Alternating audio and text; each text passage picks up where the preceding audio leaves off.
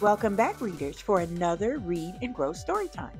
Today's title, The Boy Who Touched the Stars, is an autobiography written by the main character, Mr. Jose M. Hernandez himself. Every evening when I was a boy, I would look out my window and stare at the stars. Some were blue, yellow, white, some were larger and brighter than others. Most would twinkle in the dark sky. It was as if they were alive. Later, I would learn that the ones that did not twinkle were planets. I also discovered that some stars fell from the sky, and each time I would see one falling, I hoped to find it so that I could put it in my pocket and carry it as a good lucky charm. My parents were farm workers who labored in the fields of California.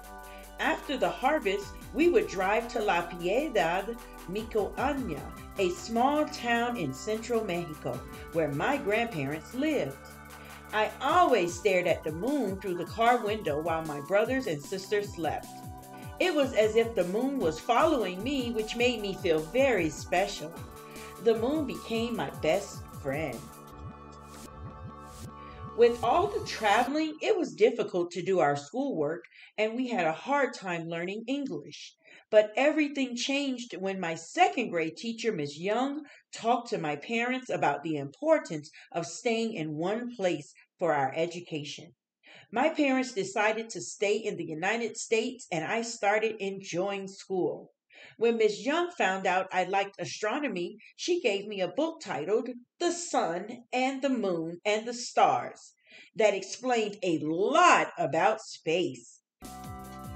I felt like I knew a lot about astronomy when man landed on the moon.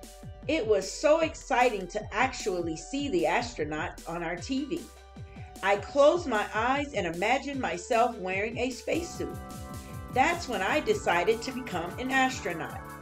When I shared my dream with my family, my father told me that if I really wanted that, I had to follow a recipe, identify my goal, determine how long it would take me to achieve it, and create a plan to reach it. Mom added that I should do well in school and work hard.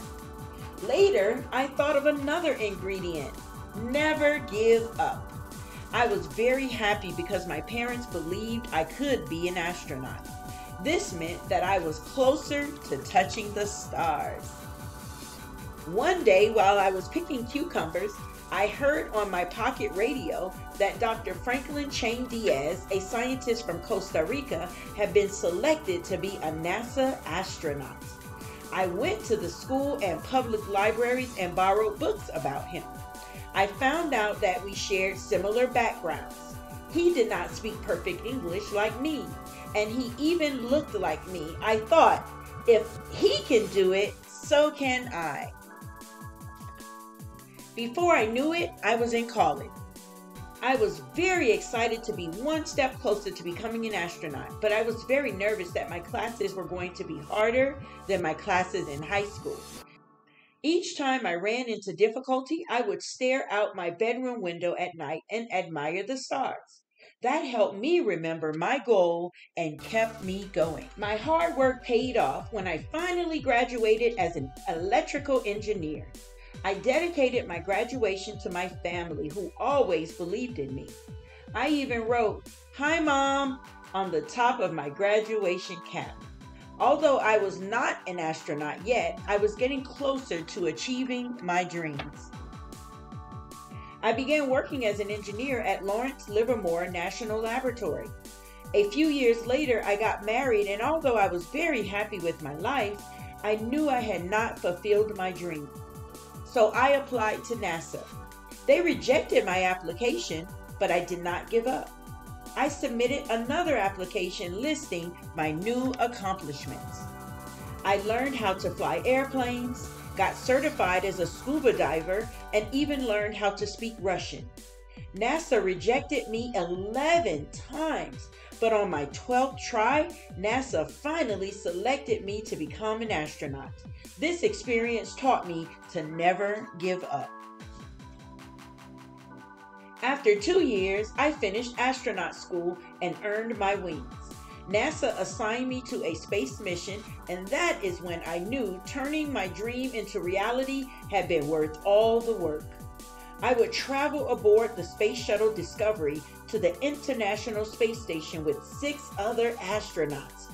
We were all very excited to be a part of this important mission.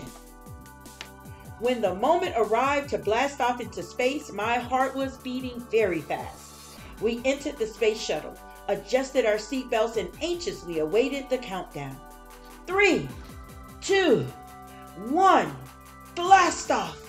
The space shuttle went from zero to 17,500 miles per hour and reached outer space in just eight and a half minutes. We were 280 miles high above the Earth. Once we were in space, I took off my seatbelt and started to float. I did my best Superman impersonation as I floated through the cabin. It was amazing. We spent 14 days in space, going around the planet once every 90 minutes. We conducted many experiments.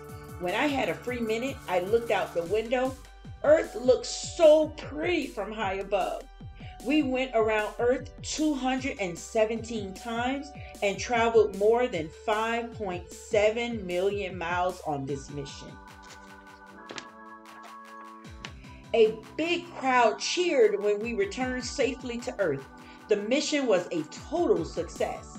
When I finally had a chance to get some rest, I laid down on the grass in my backyard to gaze at the stars. It was remarkable to think that I had been up there just a few days earlier. I was finally an astronaut. I had reached the stars. I share my story because I think we can all reach our own stars if we follow my parents' recipe. Identify your goal, determine how far you are from achieving it, and create a plan to reach it. Then do well in school and work hard. And don't forget my secret ingredient never give up. So tell me, what is your dream? Which stars do you want to touch?